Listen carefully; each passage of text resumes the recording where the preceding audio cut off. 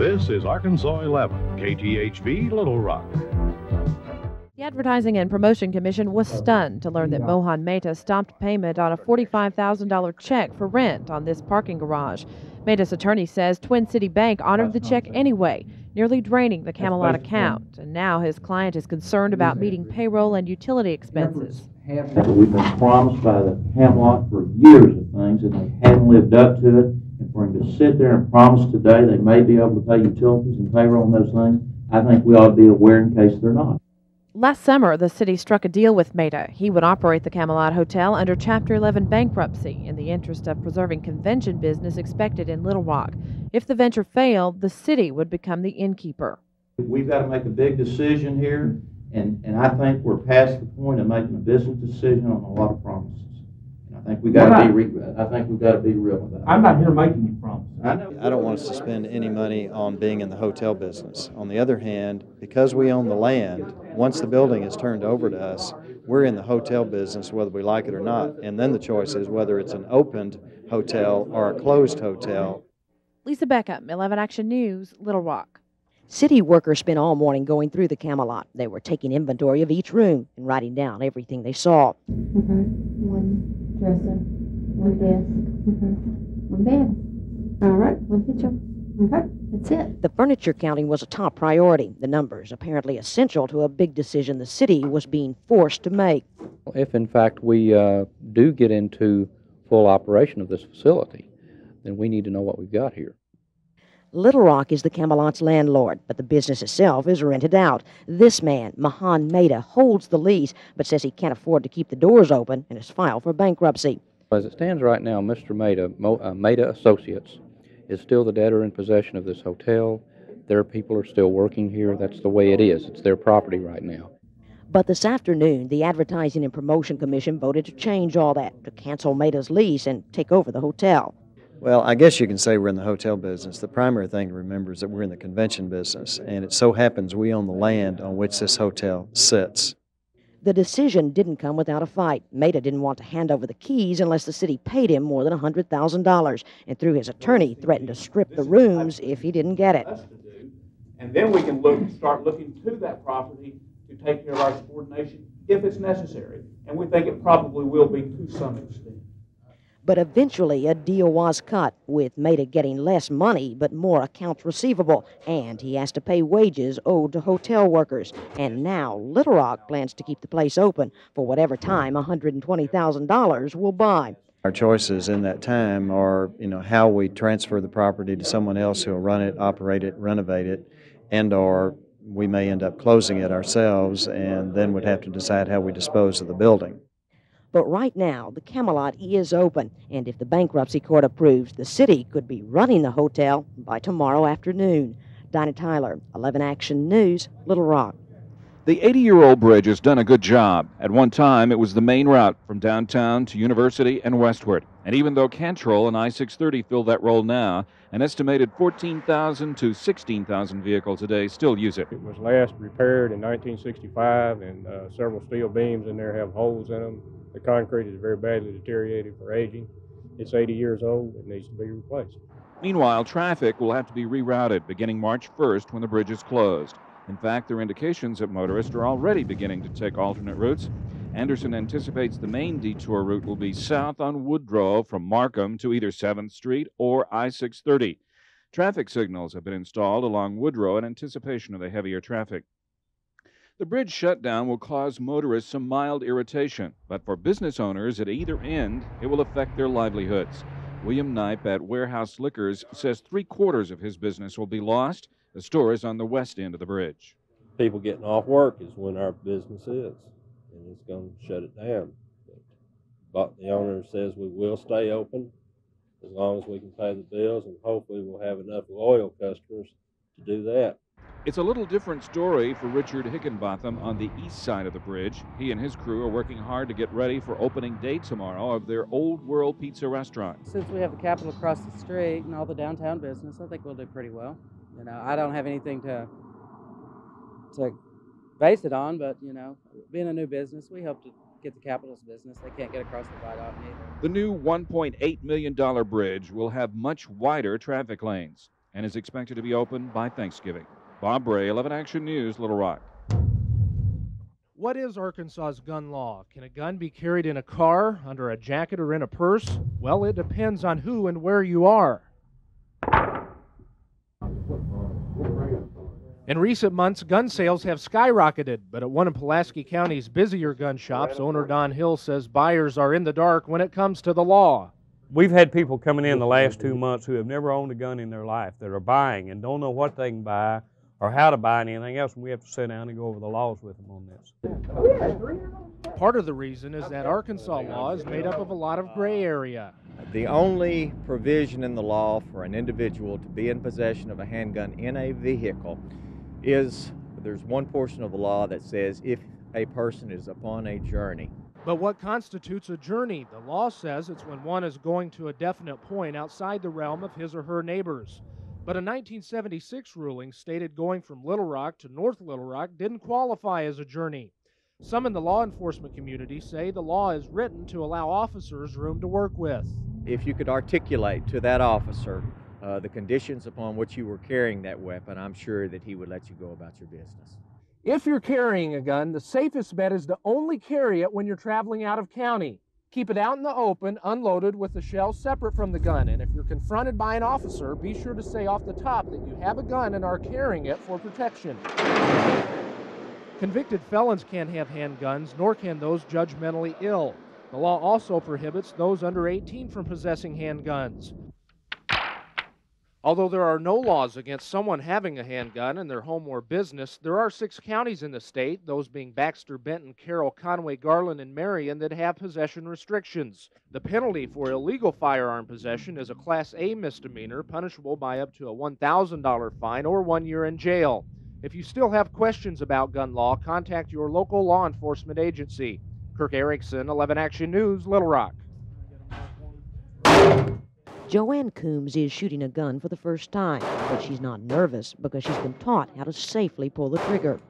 I wanted to make sure that since I had purchased one for protection, that I would not harm myself or someone else unintentionally. She bought her pistol at the Heights gun shop, where the owners are cops, and the first rule of business is safety.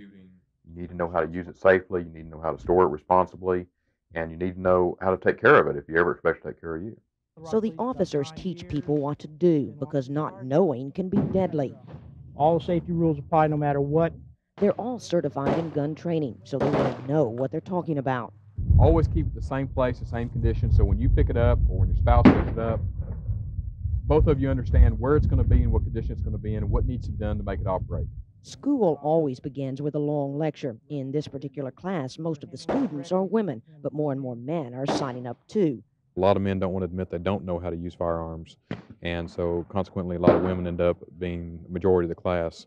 But we get uh, a lot of each. Partway through the class, the students are told to check their weapons to make sure they're not loaded. Then they line up for more lessons and tips on their stance and grip.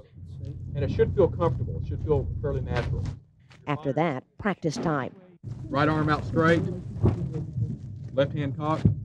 A lot of dry firing to get a good feel for the trigger. People buy guns, I think, a lot of times for an ego trip, just to, uh, you know, say, well, this is what I've got, and I've got this gun, and they don't know how to use it. And I think that's the reason why a lot of accidents happen, and it is very scary. Their final stop is the firing range. The students had been at school for more than an hour and a half before they were ready to use live rounds.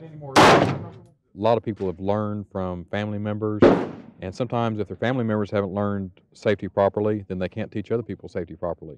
But safely firing at a paper target is one thing, and taking aim at an attacker, a human being, is quite another. I would say that that I probably would if it would come to protecting myself or my family. You have to think of your safety and your family's safety first. And if it were the right opportunity, yes, I would.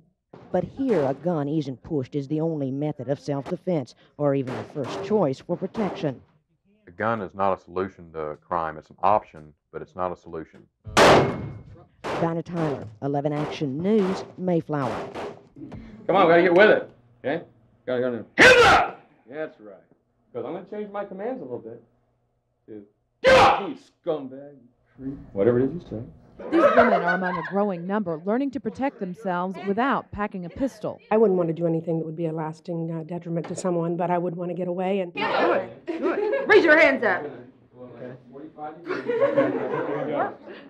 As a woman, Mary Ellen Thompson knows her own physical strength simply won't be enough to fight off a male attacker. But with the techniques that they teach you and just knowing where to touch, uh, where to push, uh, so that you can get away, this is why I think every woman should take this, and, and even men too. There's no strength to it. It's a circle. Tighten up your neck, Rick, because you're going anyway. it's a circle. Well, you see what I'm doing at the bottom of the chin? I'm helping that leverage, or I can also use the hypoglossal. He's going to move away from it, and when he does, I just take the top of that head and it helps draw my circle, and down they go. Similar techniques are used by the military, law enforcement, and in the martial arts.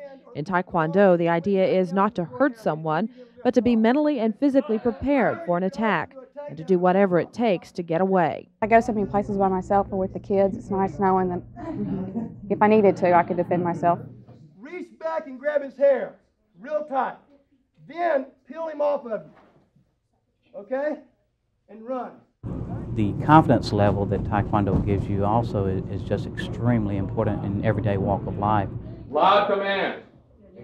Come on, real loud. Scream out something. Self defense courses also teach that the voice can be one of the most effective weapons of all. It's psychologically defeating to the rapist if I'm telling him maybe what I'm going to do to him.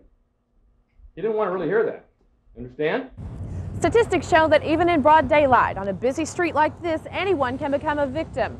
More than 60% of women who resisted their attackers, either verbally or physically, believe they improved their situation.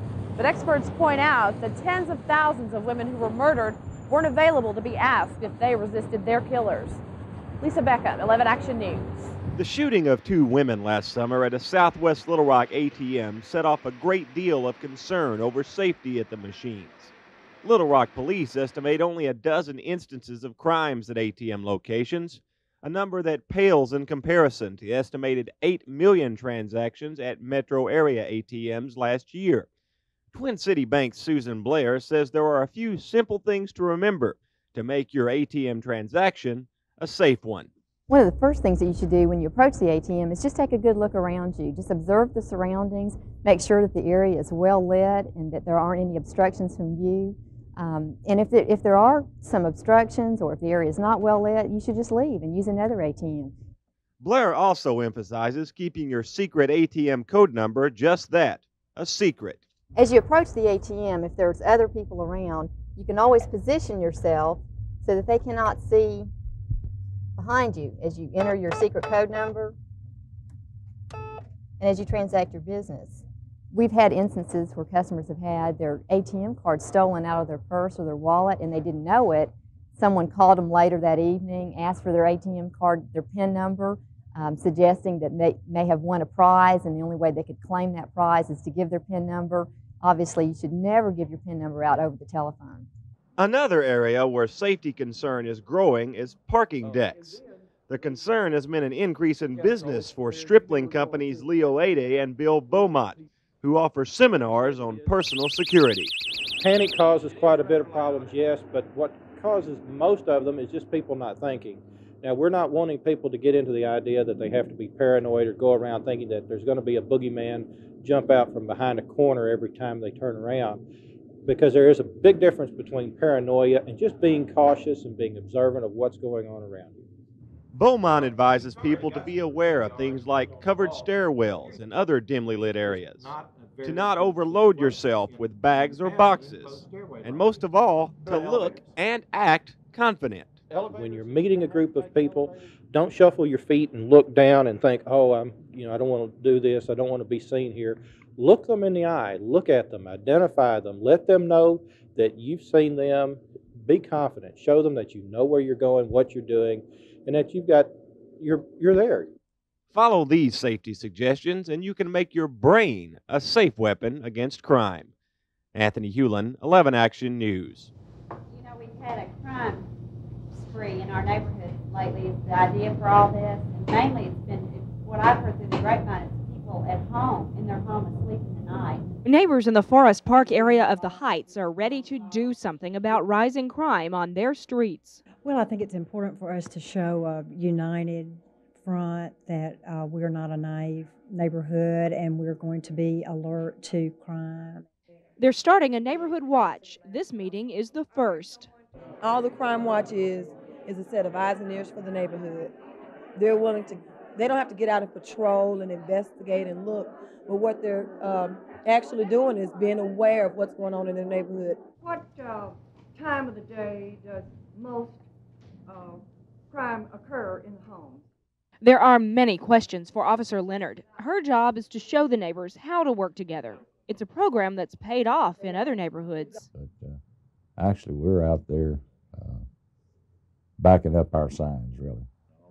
Bernie Allen has been part of the Broadmoor Crime Watch since its start six years ago. He says it works. We've got good communication out here. We have a quarterly newsletter that we put out in the neighborhood, and we keep uh, telling everybody, you know, call 911 if you see anything happening in the neighborhood.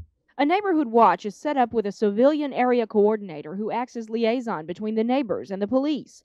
Under the coordinator are street captains and block captains. Residents rely on them to help keep the watch working. But everyone helps the police find criminals. They help us in that people are more willing to get involved because they know that their neighbors will in turn do the same for them. Kristen Terrell, 11 Action News, Little Rock. Lisa, you put in bars here in the windows, and that's good because we want to deter the burglar from getting in the business.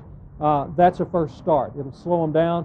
It'll keep them from getting in quickly, and that's one thing you want to do as a business owner. Lisa Pinkston's been a crime victim more than once. She owns a pawn shop in North Little Rock. One night they uh, threw a brick through the glass door. We put glass up the next day. They did it again the next night. So we put plexiglass up, and they didn't do it again. Now Lisa's got wire mesh on the door, but she's expanding her shop, so Sergeant Steve Kennedy is helping her crime proof it. It's going to be difficult to take the items out if they do get in. Uh, it's hard to place anything between those bars, and that's good. Kennedy says business owners should try to deter, detect, and detain criminals who might try to break in. An alarm system, he says, is a must. Kennedy has some more advice for Lisa on the inside of the shop. Lisa, I've noticed that uh, some of the things are hanging in the window. That's uh, that's going to be difficult for the officer to see as he drives through checking the property. Probably need to take a few things down so the officer can see down the aisles, which I've noticed are fairly clear, which is also good. But as soon as these things are moved, the officer should be able to detect anyone inside moving around. There's a lot of work to be done in the new part of the shop. Lisa will be buying and selling behind this counter, so Kennedy suggested more bars and a strong door between her and customers. He's also recommending a steel plate in the counter. Lisa's doing well so far with crime proofing, but she will make a couple of changes after today. Um, the lighting outside, I think I'll put more lighting outside so if a police officer drives by, they'll be able to see if the glass is broken, that sort of thing. Crime prevention measures for different businesses are going to vary. If you're unsure about the safety of your business, call your local police department. They'll be more than happy to send an officer over to walk through with you and give you advice. Kristen Terrell, 11 Action News, North Little Rock. Do you worry about a burglar lurking in the bushes outside your front door? Are you afraid someone who might hurt your children is taking a look at your house? If you are, you're not alone. More and more Arkansans are installing home alarm systems. I get calls from young women just out of college, just going to college in apartments, uh, elderly women who are afraid to be at home anymore, uh, guys that just want security for their wives when they go deer hunting or duck hunting. And uh, our, our business is just phenomenal. Greg Agee has 15 employees now. At any given time, he's installing six systems in central Arkansas. People are scared, business is good. But how much does it cost to be safe? The average cost, if you get a complete security system, doors, smoke detectors, motion detectors, uh, a good quality system, you're going to spend in the thousand dollar range. It, it'll run anywhere from 700 to a thousand. Agee says one of the biggest mistakes you can make is to assume you only need an alarm if you have a very expensive home. You know, anybody that has a VCR or a family needs security. So whether you have a million dollar tapestry or a VCR, you should just. Yes, sir. Matter of fact, the VCRs get hit more than the million dollar tapestries because they know that a home like this is going to have a good security system. They assume that, that the smaller homes don't. So when they do, they get real surprised. surprised. We put quite a few people in jail in, in downtown Little Rock. We've got some good customers down there. There's absolutely no guarantee that a sign telling a burglar you have a system will stop the criminal, but it will make him think twice. If you care enough about home security to consider an alarm system, you've probably also asked yourself the question do you need a weapon in the house? Do you want to sleep with a gun under the bed? Well, Greg says the answer might be yes, but please take some precautions. If they're instructed in the proper use of that handgun and they feel comfortable that no children or anyone that's not supposed to get to that gun can cannot get to it, then then I, I think that that's probably a good idea. More people are buying guns and installing That's home alarms. Your home may be your castle, but it's not as safe as it once was.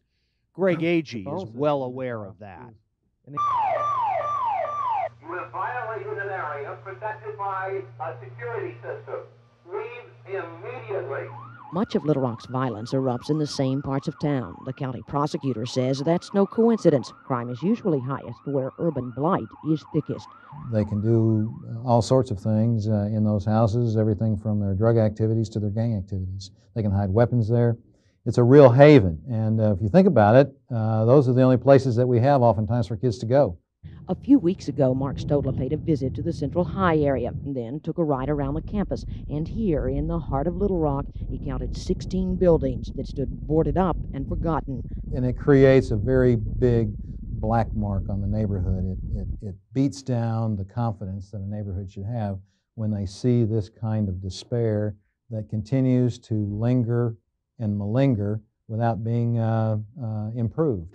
Officials have tried to heal some of the city's sore spots by attacking the festering places first. Now the infamous Sin City is gone, and more than 160 drug houses have been put out of business. We dissipate that drug activity. We break that supply line uh, uh, as, a, as a known drug hangout where people can go and buy drugs.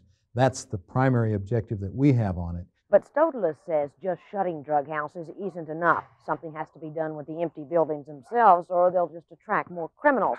He claims that's where Little Rock has a history of falling short, and the mayor agrees.